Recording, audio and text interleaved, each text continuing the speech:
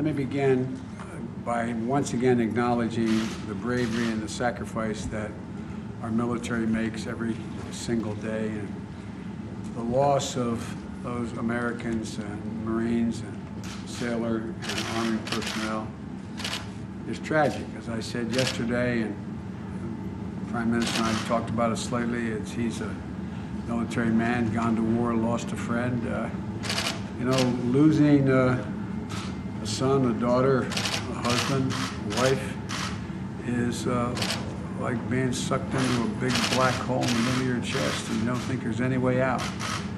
Wonder what's happening. So my heart goes out, our hearts go out to all those who we've lost. But look, um, the mission there being performed is dangerous and is uh, now it's come with a significant loss of American personnel. And, uh, but it's a worthy mission because they continue to evacuate uh, folks out of that region, out of the airport, evacuated more than 12,000 additional people out of the airport in the last uh, 24 hours.